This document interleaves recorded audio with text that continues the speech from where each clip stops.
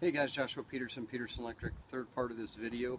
Um, so this is what it turned out. We got the panel mounted. I did, I think about six screws to make sure this would hold well. When you're screwing a panel in, or when this guy, whoever did the AC, screwed in this strap, don't use screws that long unless needed. This is just siding and there's not two layers. Um, that's a good way to cause a short on a circuit that you can't get to. Um, I just use deck screws about an inch long, inch and a quarter max, maybe three quarter, aggressive thread, and then a, a washer. Um, so basically, I got my grounding in first, okay, which is coming up through here. I, I do a plastic bushing there.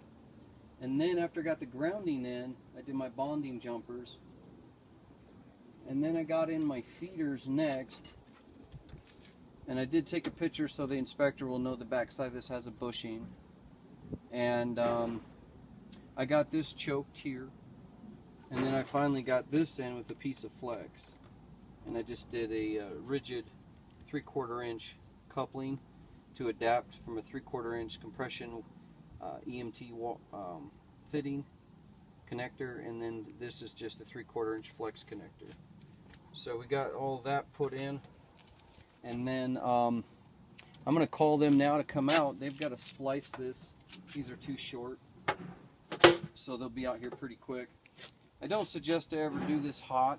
Um, I've had to do it once but it's not something I like to do. I like to always get my disconnect reconnect on the underground feed. Their pedestal was actually in the other backyard, so it wasn't even in this yard. Um, so the next video will be just to show you how to implement the grounding neutrals and the hots, um, the ungrounded conductors.